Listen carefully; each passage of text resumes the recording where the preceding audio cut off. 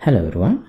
Today we are going to work on the sea and the sky sphere of this unlimited terrain plugin we have developed so far in Unreal Engine 5.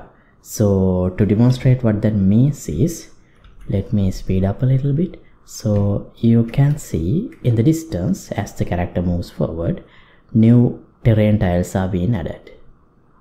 See over there. So in an actual game we might hide that but for now I need to keep it visible. So now as you can see no matter where player goes landscape will be there. And in the behind landscape will disappear. But if I go to the top view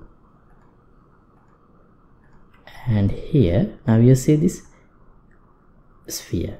This is actually the sky sphere mesh so but this sky sphere mesh and this is the sea plane. So these things are not moving at the moment.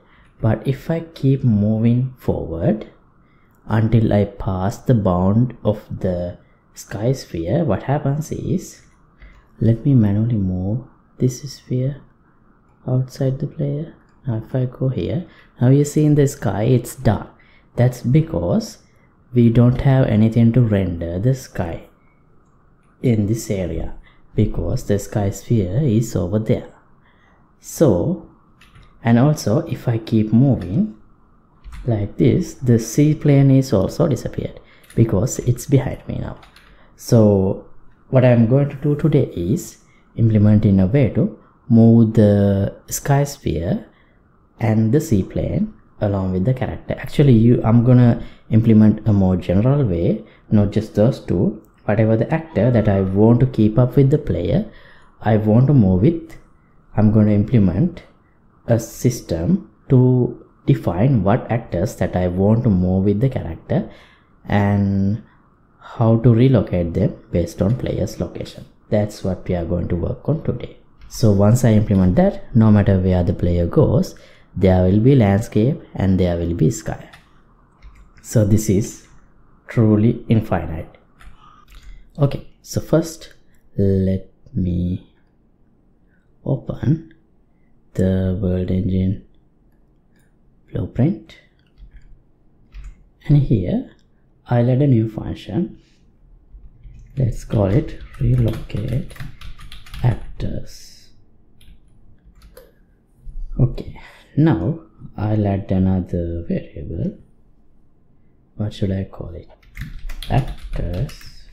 To be relocated that's the only name I can think of at the moment. An object type. I'll give it actor make it public and make it an array. Because there will be multiple object types that we might need to relocate with the player. So this is not actually a complex thing to do so let me run a for each loop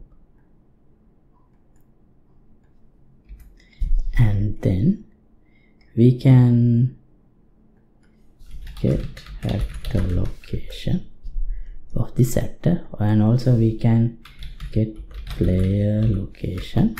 So the reason that i'm not doing it like this get player character and get actor location we could do this as well. But i'm not doing it that way because this function actually check if there are any players or if there are any pawns or what is the current active player controlled class. If it is a character it will return character location. If it is a pawn it will return the pawn location. So those things will be checked here. So this is a custom written function within the plugin so now here I'll check distance. Actually 2D not 3D because we only worried about the the 2D distance between the player and these actors. It doesn't matter the height of the or vertical height of any of these objects and if this distance is larger than let's say I'll call it relocate distance. We might need a bit bigger value here. Feel free to modify this but I'm gonna use 50,000 for now or maybe even more 100,000 if it is true then I'm gonna again get a reference.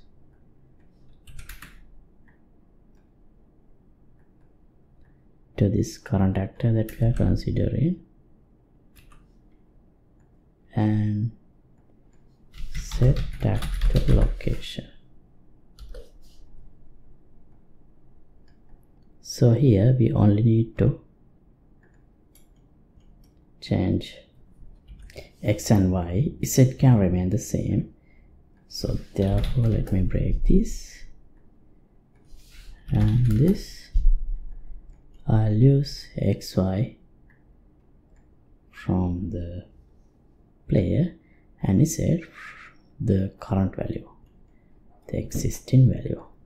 Now where should we call this relocate actors so we could either add the timer or we can just reduce the tick interval increase the tick interval not radius like 20 seconds because I'm not actually using tick here. So once every 20 seconds if I call this relocate actors that should be enough. So tick. But it is I don't think you should call this in every tick. Even though it's just a simple function there is not really a requirement to do that. So why? Why would you do that? So relocate actors. Right. Now did I make this public? Here relocate distance also I'll make it public. Okay. And now here we have actors to be relocated. I'll add two elements and I'll give sea and sky sphere now if I move let me make it move faster by manipulating the time dilation.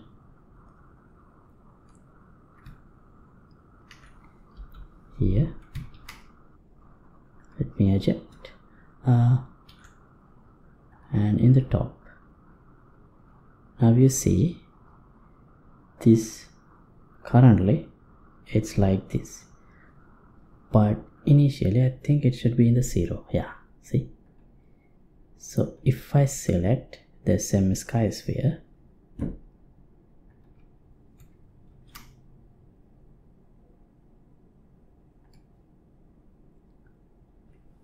ah, it is updated to player's location.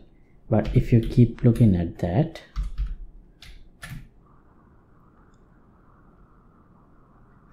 you should see it's moving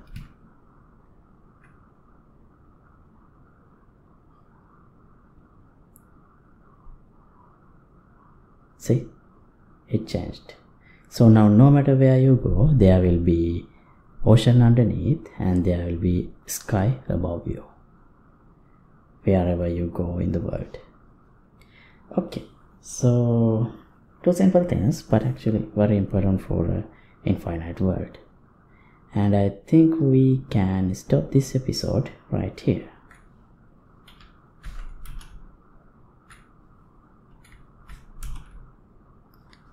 so here is the world this is the regular speed.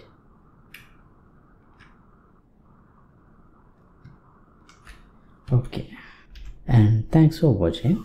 As always updated project files will be available in the patreon page for download. Link would be in the description below. And not just this project you can download all thousands of projects that i have done in my channel to the date once you become a member in the patreon page. And see you in the next episode. Goodbye